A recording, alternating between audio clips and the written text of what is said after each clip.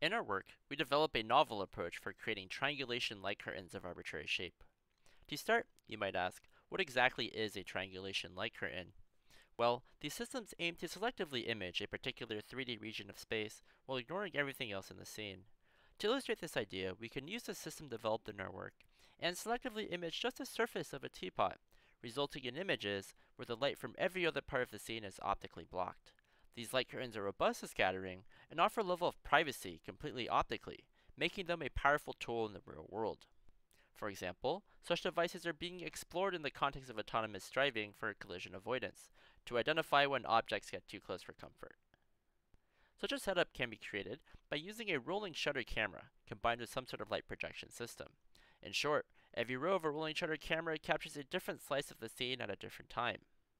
If we synchronize a projector with this camera, we can illuminate a different pattern for each individual row of the rolling shutter. It is this spatio-temporally varying illumination that forms the light curtain. Objects that intersect this light curtain will be visible to the rolling shutter camera, while objects that don't will be too dark to be seen. Such a system requires that the projector is fast, programmable, and light efficient. However, existing techniques don't really satisfy all of these requirements, so we turn to a holographic approach.